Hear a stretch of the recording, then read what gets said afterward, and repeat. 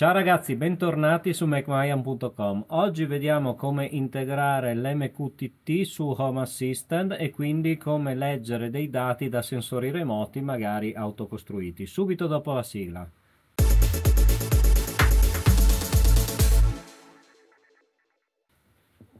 Bene, eccoci qua, come promesso andiamo avanti con l'argomento Home Assistant ed eh, MQTT andremo a vedere come possiamo integrare la lettura di un sensore, di un sensore remoto, in questo caso è un sensore di temperatura che ho fatto io con una, una SP e che mi trasmette ogni tot tempo, mi sembra ogni mezzo minuto, mi trasmette i dati di temperatura di casa. Lo fa sia sul mio sistema che ormai dovreste conoscere, ma lo fa in contemporanea via MQTT ad Home Assistant per permettermi poi di fare eventuali automazioni.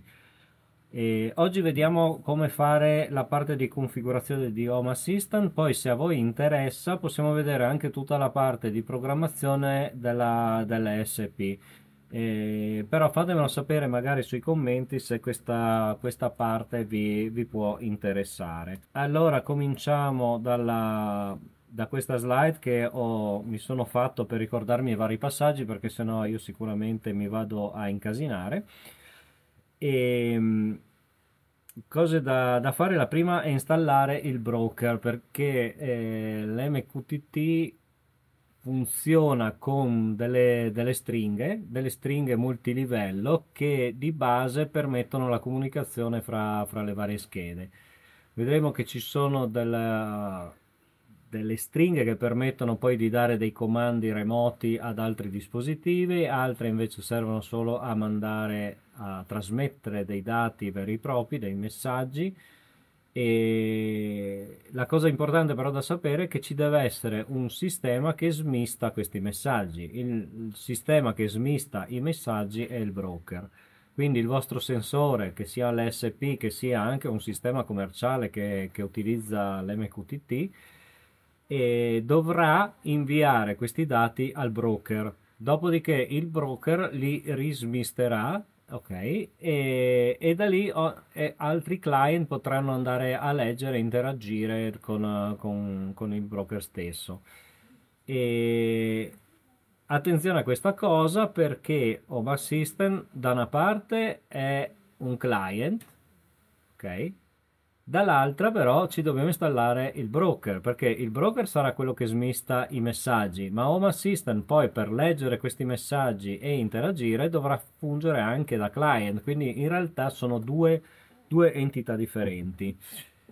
Il 99% delle persone utilizza Mosquito su Home Assistant, è molto semplice da utilizzare, è quello che ho utilizzato anch'io in passato, è una banalità, ma ho voluto cambiare non ho voluto cambiare perché non funzionasse, ho voluto cambiare perché così mh, preparandomi per questo video ho mh, notato questo EMQX che sembra essere un, bro un broker più, più, avanzato, più performante con funzioni, funzionalità in più. E ho detto perché non lo proviamo visto che in italiano non c'è molto, si trova poco, ci sono poche informazioni, allora lo, lo, installiamo insieme, andiamo a vedere come funziona almeno le basi. Prendete questo video un po' come un video di base perché anch'io sto cercando di imparare un po' come funziona. Quindi oggi arriveremo al risultato, cioè leggere i dati dal mio sensore e poi farci due grafichetti giusto per, per avere un primo, un primo, input. Poi quando le cose iniziano a funzionare è, è, è molto più facile poi avanzare e creare qualcosa di più complesso. Quindi installare EMQX è il, primo, è il primo step da fare. Per farlo entriamo, entriamo qua dove l'ho messo, eccolo qui, questo è, la, è, la, è il nostro Home Assistant di test, quello che utilizziamo per appunto testare le, le, nuove funzionalità. Mentre vi faccio vedere questa è la versione invece mia personale di casa vedete che qua c'è il, il, sensore temperatura del salotto con 3-4 grafici, ne ho messo più di uno per fare dei test appunto, in cui vediamo la, la temperatura attuale che è di 25,62 gradi. Allora, cosa dobbiamo fare? Dobbiamo installare quel plugin. Quindi andiamo qua in impostazioni, andiamo in componenti aggiuntivi e, e qui raccolte componenti andiamo a cercare l'iconcina verde che eccola qua è MQX questa iconcina verde con le sbarrette noi andiamo a installarlo Ecco, una volta installato, come sempre, attiviamo il watchdog, attiviamo l'aggiornamento automatico, lo mettiamo nella barra laterale sempre che lo vogliate e possiamo avviare il sistema. In configurazione non c'è nulla di particolare, quindi possiamo tranquillamente avviarlo. Una volta avviato ci comparirà quindi qui la, Ecco, una cosa, vedete che qua c'è scritto Bad Gateway. Eh, l'altra volta vi ho detto che risolvevo quasi sempre eh, ripulendo la cache del, del, browser. In realtà ho scoperto, a forza di guardare video sull'argomento, che eh, questa cosa qua spesso succede quando il componente non è ancora pronto. Quindi io l'ho avviato ma non è del tutto attivo, quindi c'è, un errore di comunicazione tra i componenti interni. Quindi a volte basta attendere un attimino e dopodiché il, il, sistema, il sistema parte da, da solo. Adesso vediamo se così approfitto per mostrarvi, cosa che non faccio mai, nel registro qua ci sono tutte le informazioni de, di quello che sta avvenendo in, in merito al singolo, singolo componente. Vedete che qua si è messo ad ascoltare nella porta, le porte standard, queste, eh, vedete che questo broker a, divers, a, differenza di Mosquito permette di utilizzare anche una connessione sicura SSL e questo è uno dei motivi per cui l'ho scelto perché esistono dei dispositivi più diciamo recenti che utilizzano questo protocollo e con Mosquito non potreste utilizzarli. E la porta standard comunque è la 1883 mentre come vedete le porte utilizzate per uh, per le connessioni sicure sono diverse. Ma torniamo a noi vediamo se adesso funziona. Col piffero proviamo ad aggiornare a fare un aggiornamento di tutta l'interfaccia.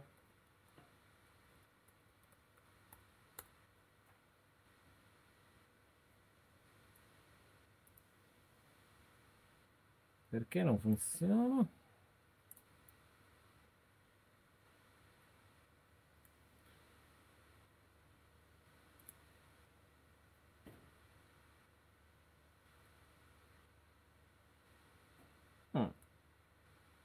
Ok, adesso, adesso è partito ragazzi, eh, ci voleva un po', eh, non, non, so cosa, cosa dire. Avete notato, vi faccio rivedere perché dopo io magari faccio dei tagli in questi tempi morti, perché succedono sempre ovviamente quando registro, quando faccio le cose di prova non mi capitano, poi arrivo qua, registro e, e, e, e succedono cose diverse. Ho premuto qua apri l'interfaccia web e e, ed è partito. Adesso dice l'addon non è, non, è, non è in esecuzione, vedete che si sta, sta un po' impazzendo. Proviamo a fare un riavvia.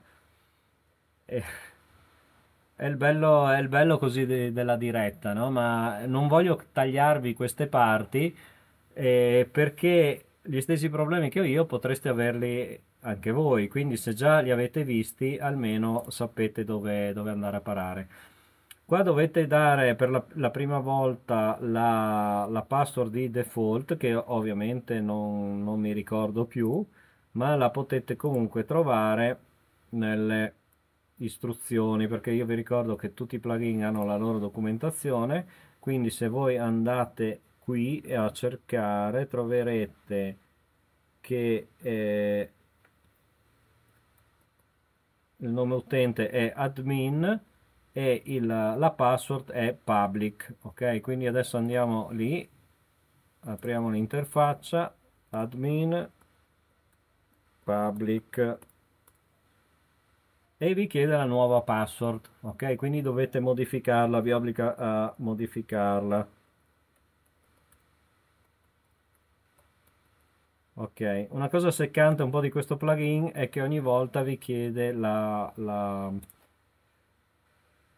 la password ecco uno dei problemi che uno dei motivi per cui probabilmente io ho tutti questi problemi è la mia connessione molto instabile e in questi giorni fa, fa schifo, non so il motivo, ma anche localmente ho un sacco di problemi. Ho già riavviato i router, non so se è il caldo, ragazzi, qua si muore di caldo, altro che i 25 gradi del salotto. Vedete adesso per esempio ho schiacciato di là e funziona, quindi mi continua a dare questi network error, ma in realtà l'interfaccia l'ha aperta. Va bene, eh, andiamo avanti, se no ti, adesso tiriamo anche due bestemmioni perché a un certo punto vengo qua per fare dei video di qualità e, e mi trovo a, a, dopo che mi sono preparato a lungo è un po' fastidioso, vabbè. E, um, torniamo a noi però dopo il primo accesso tra l'altro l'avevo scritta qua la, la password per, perché sapevo che me la sarei dimenticata eh, dobbiamo creare un nuovo profilo eh, user password dentro authentication ok? Quindi andiamo dentro authentication che è una di queste icone authentication.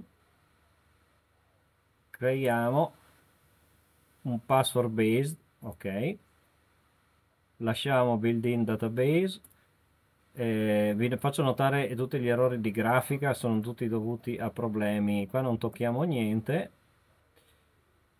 E a questo punto se Dio vuole siamo riusciti ad avere il nostro il nostro il nostro utente sto avendo un sacco di problemi. In realtà ho visto un altro youtuber con gli stessi problemi.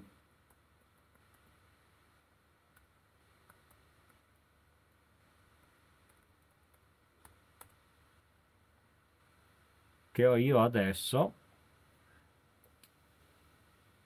Che però dopo gli si era stabilizzato improvvisamente. Adesso io non so se è appunto la mia connessione che fa schifo che per dire adesso ho perso quello che avevamo appena fatto. Quindi torno a rifarlo. No in realtà adesso me lo dà come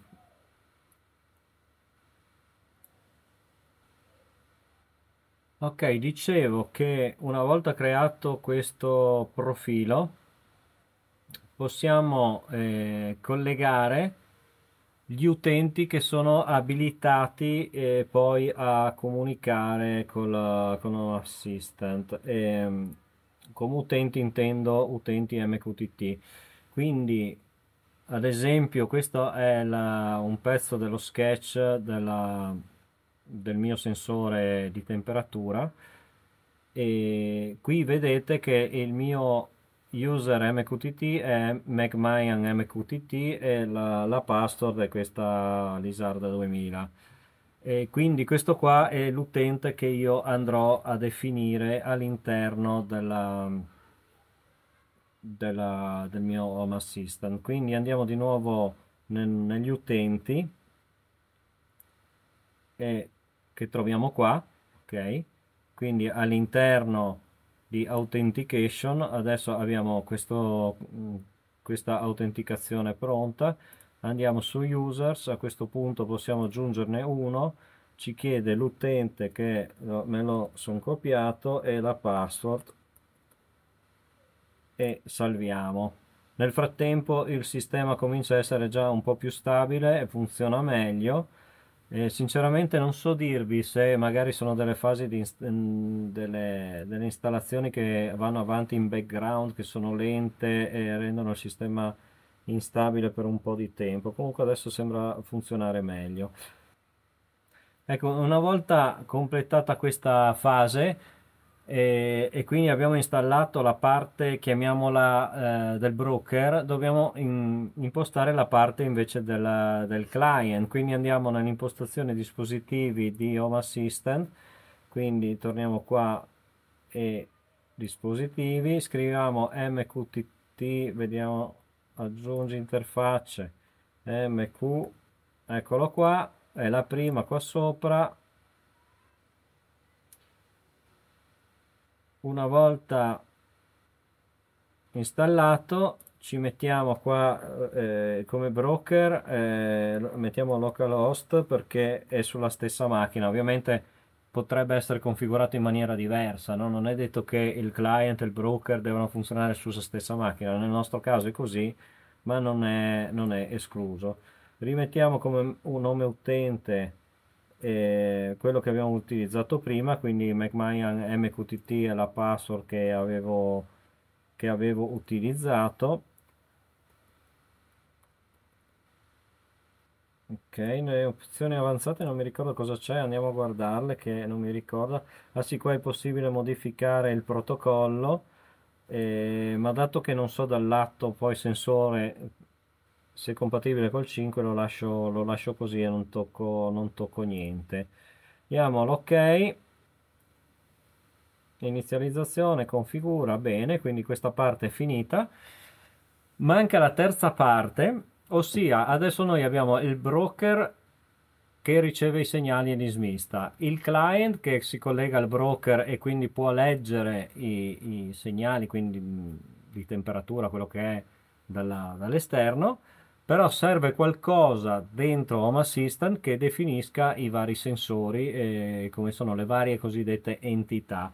Per farlo, in questo nostro esempio di oggi lo facciamo a mano. Quindi andremo nel, nel file e da qui andiamo nel file di configurazione, quindi il solito auto eh, configuration YAML ok e qui dobbiamo andare a inserirci i nostri sensorini. Per farlo qua ho già preparato ovviamente la, la, la nostra diapositiva. Dobbiamo fare una cosa del genere ce la copiamo ok e me la vado a incollare direttamente nel file così vediamo se posso ingrandirla. Speriamo di sì. Sì ce la fa ingrandire. Vedete che c'è una sezione mqtt due punti poi sensor due punti e all'interno qua il blocco con la descrizione del sensore. Il name è il nome dell'entità dell quella che noi andremo poi a trovare e poter gestire nella, in tutto Home Assistant. State topics è il topic della eh, MQTT che noi utilizziamo in fase di programmazione lo vedete qua. Vedete questo è identico è la stessa identica cosa. Ok ed è questo qui. Eh, unità di misura vabbè questa non è, non è fondamentale ma io l'ho aggiunta e la, la, la, precisione quindi i numeri dopo la virgola eh, che, che sono suggeriti insomma al sistema anche questo non è fondamentale ma io ve l'ho, aggiunto così ce l'avete lì. Que fatto questo ovviamente dovete sia salvare che riavviare poi da qui. Basta che fate riavvia home e qua riavvia home assistant interrompe tutte le automazioni e gli script in esecuzione con questo qua oppure carica le nuove configurazioni senza riavviare tanto potete fare questo che è più veloce Ecco, ovviamente i dati non li vede per il semplice motivo che la macchina, eh, il sensore fisicamente non invia a questo Raspberry i dati, non li invia a questo broker, ma li invia al broker dell'altro Raspberry, quindi da qua non, non li posso vedere. E avevo provato a, mm, offline insomma, a collegare questo, bro questo broker con l'altro sicuramente si può fare ma non so come. Quindi in, in via teorica voi potete collegare questo broker con l'altro e quindi ricevere i dati anche da questa parte. E non so come si faccia magari lo approfondisco nei, nelle prossime le prossime volte ma per oggi ci spostiamo direttamente alla, alla mia plancia quella definitiva in cui vediamo qui il il, il grafico del, del sensore. State attenti a una cosa che quando lo lancerete probabilmente otterrete vedete che qua c'è temperatura salotto e ci sono i, le varie barrette dopodiché mi si è trasformato in questa maniera qua col grafico vero e proprio. Ecco, ci vogliono circa 24 ore di dati. Quando il, il sistema ha 24, le 24 ore di dati, vi comincia poi a fare il grafico, altrimenti otterrete solo, solo quelle barrette in cui vi mostra la, la variazione di, di temperatura.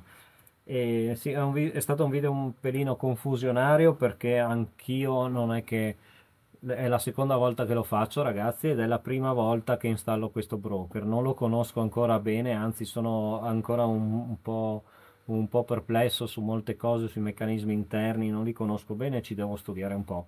E ci tenevo però a fare questo primo video perché ehm, ci sono tutte le basi per cominciare a collegare i vostri sensori, quindi anche se il video è un po' confusionario vi ho dato tutti gli step fondamentali per uh, poter cominciare. E una volta che avete inserito questi, questi dati, insomma, eh, siete in grado di, di, di operare e di iniziare. Ditemi voi se vi interessa tutta la programmazione dell'SP o se preferite che approfondiamo poi le, le configurazioni qua sull'Home Assistant, eccetera. E ovviamente il nostro scopo è poi collegare in realtà l'inverter.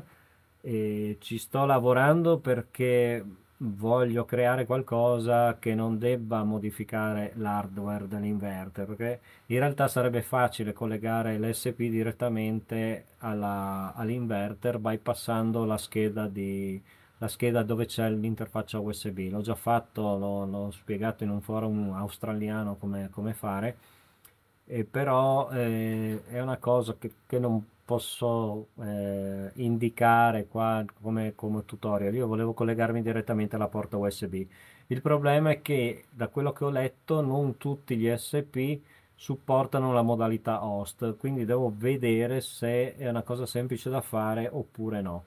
Vi aggiornerò perché sto, sto studiando la cosa, il problema è che adesso ho ricominciato a lavorare, quindi avrò meno tempo per, per, queste cose, comunque piano piano lo faremo. Se voi volete darmi una mano sotto nei commenti potete scrivermi. Vi faccio presente che ho aperto un gruppo Telegram, anzi ringrazio quei pochi che ci sono perché eh, lì è più facile scambiarci eh, opinioni, scambiarsi anche mh, file con immagini, screenshot, è molto più semplice comunicare. Quindi vi invito comunque a iscrivermi al canale Telegram in cui ho fatto delle sezioni, dei topic, quindi ci sarà ad esempio la sezione Home Assistant, come c'è quella programmazione C, il fotovoltaico, è tutto separato, in modo che ogni discussione è, è divisa dalle altre e potete andare ad ascoltare, a, a, seguire solo quelle che vi interessano. Quindi vi invito a entrare là dentro in modo che possiamo condividere più facilmente questi contenuti, darci una mano insieme e, e sviluppare più velocemente questo progetto. Ci vediamo alla prossima, ciao ragazzi! Ragazzi, bentornati su MacMion.com. Oggi vi faccio vedere come integrare dei sensori MQ... Eh. Ciao ragazzi, bentornati su MacMion.com. Oggi vediamo come integrare dei sensori che funzionano con l'MQ... Addio, benedetto!